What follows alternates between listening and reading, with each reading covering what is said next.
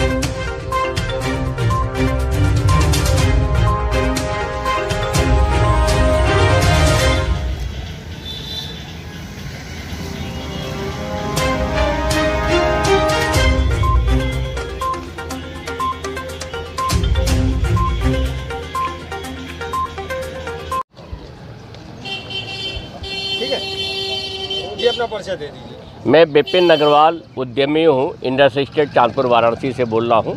किस तरह से परंपरा भी निभा रहे हैं पर्यावरण को बचाने की बात कर रहे हैं तमाम तख्तियाँ लिए हुए आप लोग क्या संदेश है? इंडस्ट्रियल स्टेट से सटी हुई बस्ती में यहाँ पर होलिका दहन कई वर्षों से होता आ रहा है परंतु उसमें लकड़ी का उपयोग अधिक अधिकांश होता था।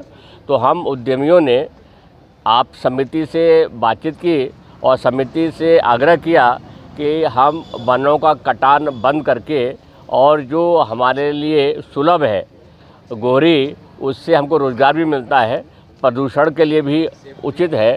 तो समिति से हम मान लो कि बातचीत हुई, समिति ने माना, हम समिति को धन्यवाद देते हैं। क्या कहेंगे अगर इस तरह के प्रयास हर जगह हो जाए तो हज़ारों टन जो लकड़ियाँ जल जला दी जाती हैं पर्यावरण प्रदूषित भी होता है वो काफ़ी बचेगा। और सबसे बड़ी बात है कि जो पेड़ हमें ऑक्सीजन देते हैं वो संरक्षित रहेंगे सुरक्षित रहेंगे। अब इस स्थान पर केवल एक स्थान पर एक टन लकड़ी की यहाँ पर लगती थी।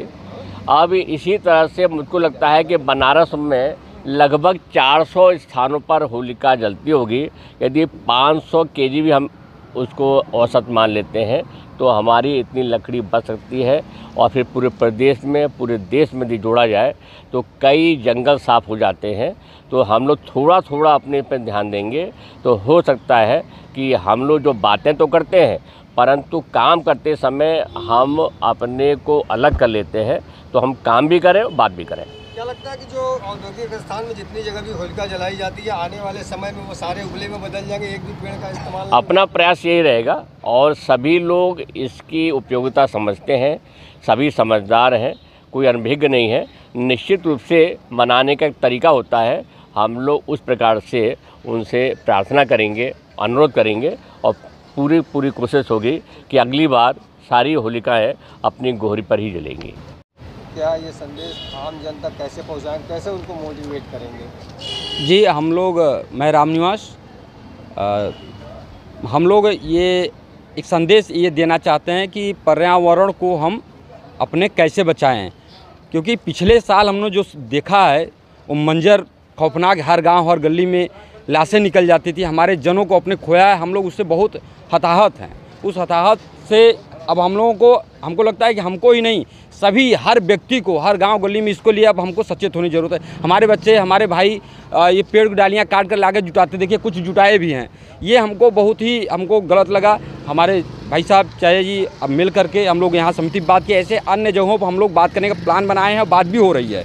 कि हम सबसे ये बात करना चाहते हैं कि आप सब लोग मिल करके ये, गोहरी का प्रयोग करें, ताकि लकड़ियाँ बचेंगी। हमारी डालियाँ वजह से, वो डाली हमको जो चौबीसों घंटे ऑक्सीजन देती है, कुछ ऐसे हैं जो पेड़ जो बारह घंटे ऑक्सीजन देते हैं, उसका लाभ हम लोग मिलता है। आज हम अब अगर हज़ारों पेड़, हज़ारों डालियाँ काटेंगे, करीब हमको लगता है कि अगर एक ज़िले में, एक गाँव में उतना लकड़ियाँ कटेंगी तो पूरे भारतवर्ष में कितनी लकड़ियाँ कटेंगी, उससे कई हज़ार, कई लाखों की संख्या में हम ऑक्सीजन को हम खो रहे हैं।